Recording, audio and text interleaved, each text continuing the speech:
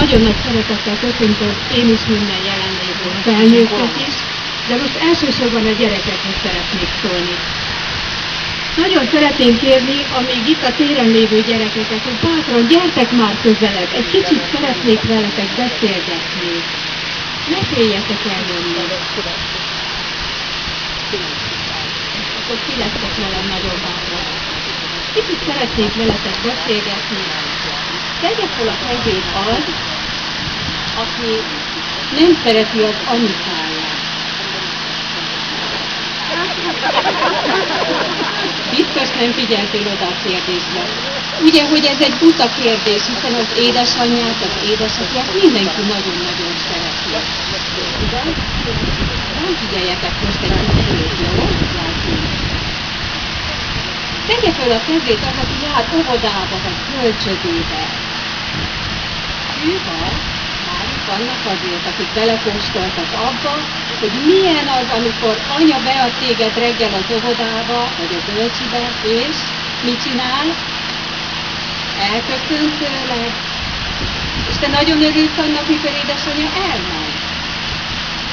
Gréta, Gréta, Jászmin, örültek annak, mikor anya elmegy? El kell neki sietnie valahova?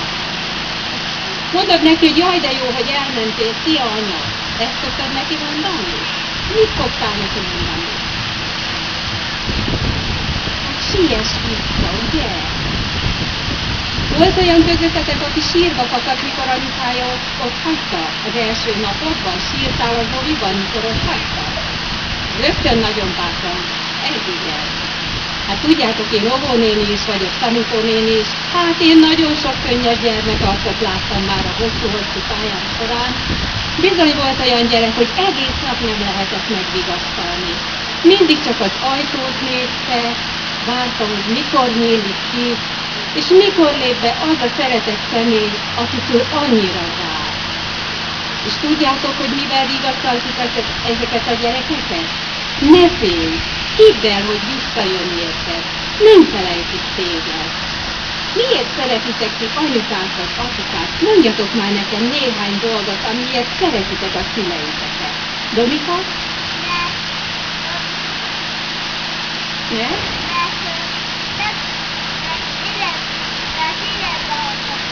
Életre hoztak téged, nagyon-nagyon ügyesen válaszoltál, nagyon ügyes voltál, és ez így igaz. Életet adtak neked, igen. Szeretném kérni a most érkezett gyerekeket is, gyertek közelebb egy kicsit. Tessenek közelebb engedni a gyerekeket. Jó, jó. Tehát Tomika egy nagyon-nagyon felnőttek szájából is szép mondatot mondott, hogy azért, mert életet adtak nekem. Miért szereted még Jászmin? Te miért szereted anyáékat? Foglalkoznak vele. Nagyon jó. Gréta? Zsonika? Miért szereted anyáékat? Ugye értitek mindannyian, vigyáznak rátok a szüleitek, igaz? Liza, miért szereted anyát? Főz neked nagyon színeket. Ugye, hogy főz neked? Gondoskodik rólunk, gyerekek, ezt. Gondoskodnak rólunk a szüleink. Rosszat akarnak nektek, nektek, amikor azt mondják, hogy ezt vagy azt nektek, rosszat akarnak nektek? Csak, csak jó. Hogy ne legyen bajuk, csak jót akarnak nekünk. Mit csinálnak? Leülnek melléd, megtanítják, hogyan közd a cipődet, hogyan vedd föl a ruhádat. Tanít minden szépre és jóra. Megtanít arra, hogy hogyan köszönj az embereknek, a felnőtteknek, sőt a pajtásaidnak is hogyan kell köszönni. Legfontosabb az, hogy vezeti és irányítja az életedet, ugye? Zsanett? Kicsit fáradtak már délutánra a gyerekeim. Tudjátok, ez miért jutott eszembe, hogy most ezekről beszélgetünk? Nem régen volt anyák napja, és én tudom rólatok, hogy ti nagyon sokan köszöntettetek, és a közellévő gyermekekről is tudom, sok óvodában volt anyák napi ünnepség, és nagyon-nagyon sokan nagy-nagy szeretettel készültek az édesanyák köszöntésére. És számomra, én aki kisgyerekén nem voltam óvodás, csak kisiskolás, és, és aztán nagyobb iskolát, de pedagógusként megértem, hogy bizony egy kisgyerek mit él át naponta, amikor el kell válni reggel a szülőjétől.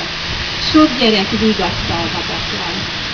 És nekem most az az ige jutott eszembe gyerekek, figyeljetek nagyon, amikor Jézus a tanítványaival beszélgetett, és azt mondta neki, ne nyugtalankodjék a ti szívetek. Nem végig idézem most ezt az ige csak azokat a részeket, amit a gyerekek is könnyen megértenek. Ne nyugtalankodjék a ti szívetek és ne féljetek. Higgyetek Istenben. Elmegyek, hogy helyet készítsek néktek. Ismét eljövök, és magammal viszlek titeket, hogy ti is ott legyetek, ahol én vagyok. Hát kell -e ennél nagyobb vigasztalás, mikor anyuki azt mondja neked, hogy ne félj kislányom, visszajövök érted. De addig mit csinálsz, amíg anya oda van a dolgát végezni, munkahelyére megy, boldva megy? Mit csináltok addig az óvodában vagy az iskolában, Roland? Tanulunk, aztán összeverekedsz a barátoddal, ugye? Nem verekszünk, ugye? Fogadunk a tanítónéninek, vagy a dudónéninek, aztán még mi minden történik egy gyerekkel egy egész nap játszunk? Mi történik velünk egész nap abban az óvodában? Vannak veszekedések? Vannak veszekedések. Játszunk nagyon sokat, ugye? kirándulás is van, az nagyon-nagyon egészséges dolog, kimenni kirándulni a társaikkal. És mi az a legnagyobb boldogság, amikor eljön az, három óra után megérkeznek a szülők. Domika mesélj, milyen érzés, mikor anya belép az ajtón, az iskolába megérkez. Nagyon jó érzés, ugye? Ugye? Van olyan közöttetek, aki azt mondja, nekem volt ilyen kis tanítványom, aki azt mondta, hogy miért jöttél ilyen korán? Még itt akarok maradni. Most annyira jól érezte magát, annyira elfoglalta magát a gyerekekkel. Jól érezte magát, ez is egy jó dolog. De mi óvónők, tanítók azért igazán annak örültünk mindig, ha a gyerek vágyott haza. Az az igazi, amikor vágyik haza, hiszen a legszeretettebb közössége a családja. Én nagyon örülök, nagyon ügyesen válaszolgattatok a kérdéseimre, bár ilyen fáradtam már azért ez sem semmit tőlük, hiszen délután a gyerekeknek azért pihenésre lenne szükségük. Én szeretném ezeket a kicsi gyerekeket most oda az asztalhoz elvinni, és én egy gyerek foglalkozást szeretnék nekik tartani. Én azt hiszem, hogy a felnőtteknek szóló további előadás és beszélgetés folytatódjon.